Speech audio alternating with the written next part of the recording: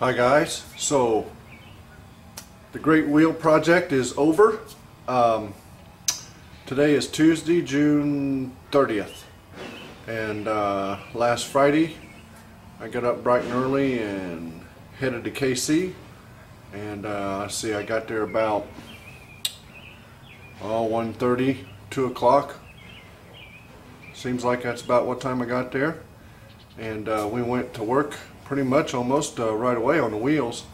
Um, I didn't have them quite all sanded yet, and uh, Greg helped me out on that. Thank you very much, Greg. Um, all told, uh, the sanding was pretty much a nightmare. Um, I'm going to say 28 hours in sanding. Um, a long time, about seven hours a wheel. So we got them all prepped up, uh, sanded, and uh, Saturday morning um, we cleaned them and uh, and went to work and painted on them. So uh, they were done about uh, Saturday evening, right at dark is when I laid the uh, the last of the clear down. Um, Greg was just phenomenal with the artwork. Uh, my everything just worked out great. the gods were with me with the clear coats, so. Um, I couldn't. We couldn't. Uh, I don't think we could have done a better job on them if we tried.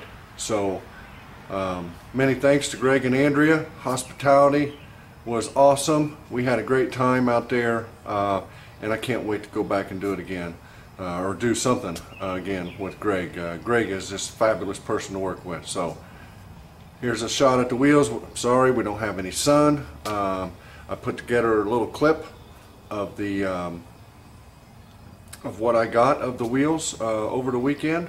Uh, I think Greg's, uh, Greg's video will be uh, more official, so to speak. He's much better, better at videos than I am anyway. So uh, I don't have any sun in Indiana, um, but uh, here's a look at our wheels right there. And enjoy the clip. And